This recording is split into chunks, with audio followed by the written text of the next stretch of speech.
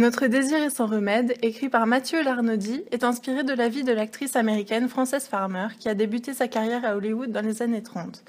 Le livre parvient très bien à nous plonger dans l'ambiance hollywoodienne de cette époque, dont l'auteur saisit les spécificités puisque c'est un monde un peu à part, euh, un peu fou le monde hollywoodien. Et il tient compte du contexte politique, social et des effets que ce contexte peut avoir sur le personnage. Notre désir et sans remède est en fait un roman qui fait réfléchir au rapport que la société a avec l'image, l'image reflétée par une personne ou un corps, et à partir de quand ce rapport peut devenir véritablement piégeur, voire malsain, et les dérives qui peuvent en découler. C'est avant tout l'histoire d'une femme qui subit la dictature de l'image qui règne dans la société de cette époque.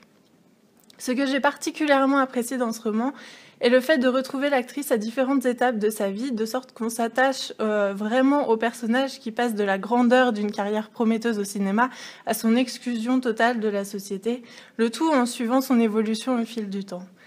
Si vous aimez les romans portraits qui tiennent compte de l'environnement historique, politique et social, en conservant une approche littéraire, alors vous aimerez Notre désir et son remède.